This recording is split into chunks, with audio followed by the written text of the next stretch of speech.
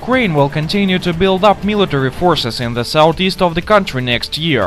Ukrainian Defense Minister Stepan Poltorak said that the Ukrainian Defense Ministry plans to redeploy a number of military units due to so-called threats facing Ukraine. Deployment of new units in operational territorial departments and brigades is planned in accordance with the threats, said Poltorak.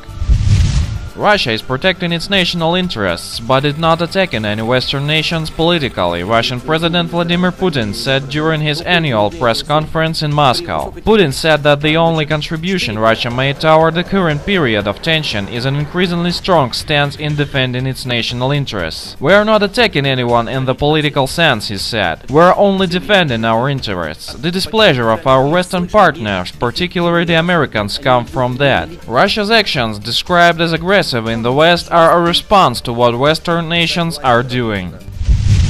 EU's ban for European companies to offer tourism services in Crimea will not affect the tourism sector in the peninsula. If foreign tourists stop coming to Crimea, the niche will be taken by Russians, the Russian Association of Tourism Operators head Maya Lomidze said. We remember on Thursday the European Union banned investment in Crimea, halting European help for Russian Black Sea oil and gas exploration, and outlawing European cruise ships from calling at Crimean ports. The new measures which EU governments have signed up will take effect on Saturday.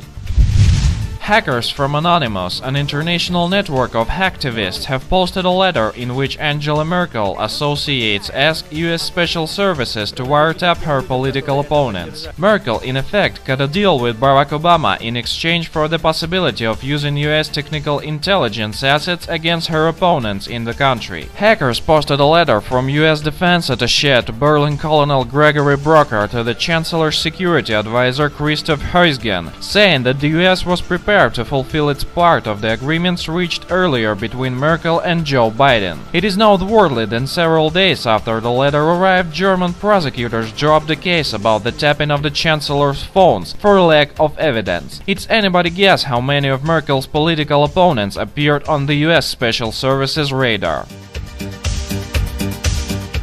We thank our information partners for help with spreading this video news.